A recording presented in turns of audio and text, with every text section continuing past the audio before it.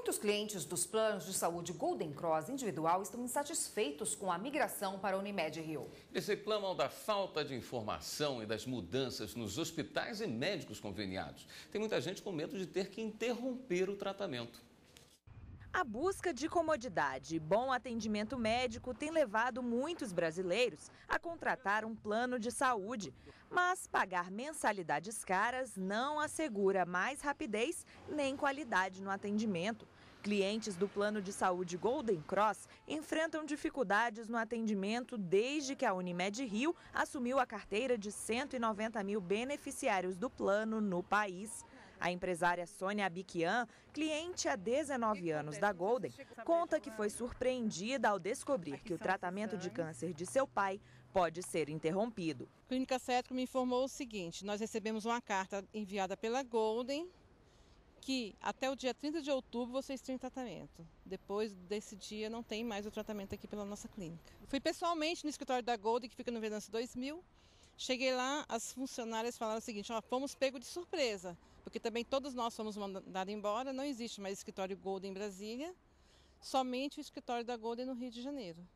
Vocês agora são Unimed, tudo vocês têm que resolver com a Unimed. Desde o início da fusão, há menos de um mês, a Agência Nacional de Saúde Suplementar recebeu em apenas dois dias 600 reclamações de usuários. As queixas dos consumidores vão da falta da carteirinha à recusa de atendimento por médicos e hospitais. Para expressar a insatisfação, um grupo de clientes abriu um perfil em uma rede social.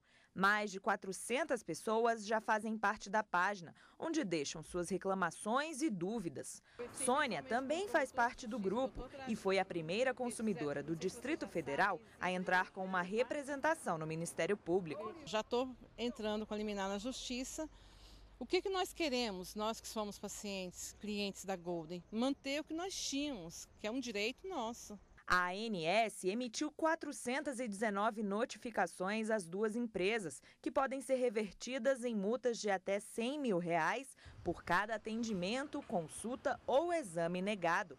Segundo o Procon DF, houve descumprimento do Código de Defesa do Consumidor e do direito básico de vida dos clientes. Se o consumidor não está tendo o atendimento é, necessário e que foi ah, feito em contrato, com certeza o, o, o, consumidor não deveria estar pagando essas faturas. Mas a cobrança virá e aquele consumidor que se sentir é, lesado, ele pode entrar na justiça e, e, exigir os direitos por danos morais e materiais. No PROCON cabe a sanção administrativa. Então é importante que o consumidor venha reclamar no PROCON, porque nós vamos agir com certeza. Por meio de nota, a Golden Cross e a Unimed Rio informaram que as condições dos contratos de todos os clientes foram mantidas e todos os direitos serão preservados.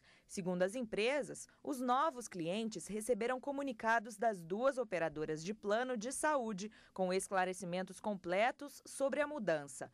Mas, para garantir que os pacientes sejam atendidos, o Procon do DF vai enviar fiscais a todos os hospitais da capital. A recusa do atendimento é, o mau atendimento, prestação de serviço, tudo isso vai infringir, vai ferir o Código de Defesa do Consumidor e, com certeza, tanto a Golden Cross quanto a Unimed Rio podem responder a, por ferir o Código de Defesa do Consumidor. Sobre os problemas verificados nos primeiros dias da transição, a Unimed Rio disse que eles têm sido solucionados de maneira a trazer o mínimo de desconforto para o cliente. No entanto, o Ministério da Justiça notificou a Golden Cross e a Unimed Rio a prestarem esclarecimentos sobre a operação de venda e transferência de carteira de planos de saúde individuais e familiares. As operadoras estão obrigadas a prestar esclarecimentos dentro do prazo de 72 horas sobre a alienação da carteira de planos.